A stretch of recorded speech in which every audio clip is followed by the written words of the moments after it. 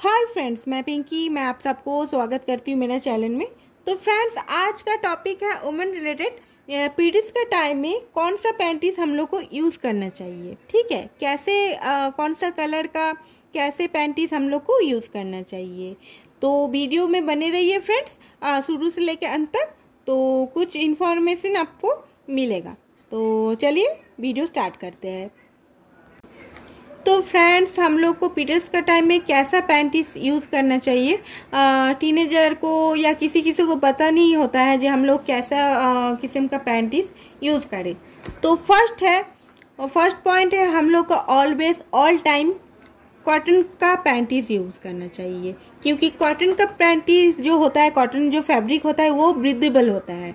बाकी अगर आप लाइलन का पैंटीज या सिंथेटिक का पैंटीज या नेट का पैंटीज अगर यूज़ करो तो उसमें ब्रिदेबल नहीं होता है। जो हम लोग का इनर पार्ट के लिए बहुत ही हार्मफुल होता है। जैसे मानिए दूसरा किस्म का अगर सिंथेटिक पैन है तो उस टाइम में हम लोग को और भी इचिंग का रैसेस का इन इन्फेक्शन का ज़्यादा चांस होता है।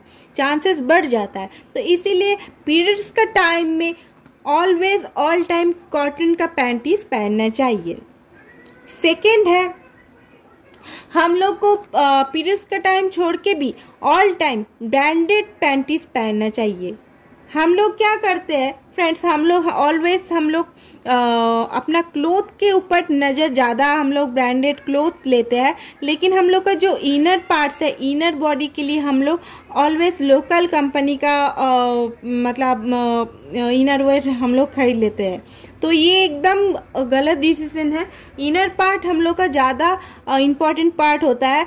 तो इनर पार्ट इनर पार्ट के लिए हम लोग को ब्रांडेड जो पैंटीज होता है या ऊपर का जो होता है ब्रास होता है अच्छा कंपनी का लेना चाहिए। जैसे मैं यहाँ पे जीवामी का ली हूँ, यहाँ पे सब मेरा जीवामी का पैंटीज है।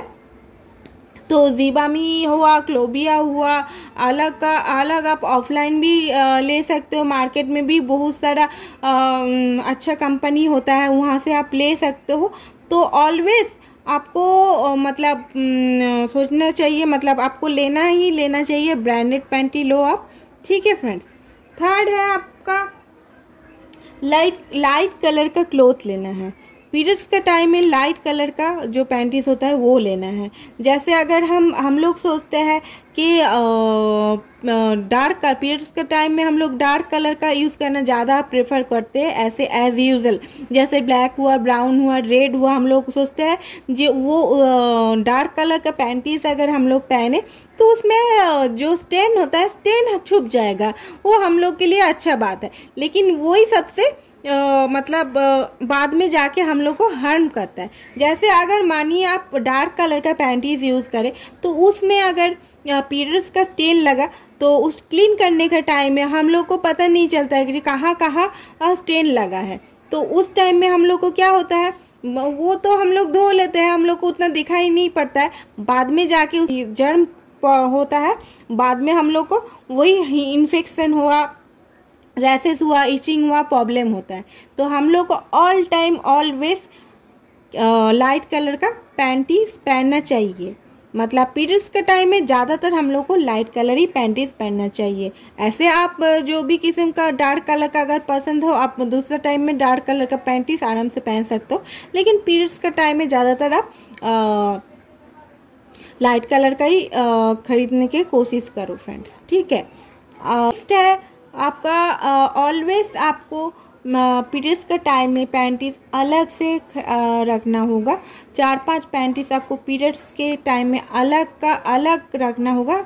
ऐसे नॉर्मल पैंटीज जो होता है वो आप अलग से रखो, लेकिन पीरियड्स के टाइम पीरियड्स के लिए अलग पैंटी आप रखो क्योंकि पीरियड्स का जो पैंटी होता है उसमें स्टेन लगता है स्टेन लगने का चांस होता है उसमें आ, अलग से उसको केयर करना होता है। नॉर्मल पैंटी नॉर्मल टाइम में रखो और पीरियड्स के टाइम में हल्का पैंटी खरीदो वो अलग से रख दो पीरियड्स का टाइम में फिर जब पीरियड्स महीना महीना आता है तो वो निकाल के अच्छा से आ, क्लीन करके वो पहनो। तो मेरा चार पॉइंट था क्या का ब्रांडेड पैंटी आपको पहनना होगा कॉटन पैंटी पहनना होगा थर्ड लाइट कलर का पैंटीज पहनना होगा, वो अलग पीरियड्स के टाइम में अलग कलर का पैंटीज पहनना होगा। तो फ्रेंड्स मैं शायद क्लियर कर चुकी हूँ ये पीरियड्स के टाइम में आपको कैसा पैंटीज पहनना चाहिए। तो आज के लिए फ्रेंड्स इतना ही। और वीडियो अगर अच्छा लगा फ्रेंड्स तो मेरा चैनल को प्लीज़ सब्सक्राइब कर दीजिएगा लाइक कर दीजिएगा कमेंट कर दीजिएगा। अगर बुरा लगा फ्रेंड्स तब भी आप डिसलाइक कर सकते हो कमेंट्स में बता सकते हो। और भी अगर पॉइंट होता, और भी अगर पॉइंट होगा फ्रेंड्स तो आप मुझे कमेंट बॉक्स में प्लीज़ बोल दीजिएगा। ठीक है फ्रेंड्स तो थैंक यू आज के लिए धन्यवाद।